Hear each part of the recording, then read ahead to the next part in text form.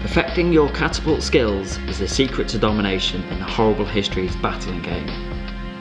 Try moving the catapult around to find the best location and angle to take out troublesome troops, but when you have a good spot, stick with it.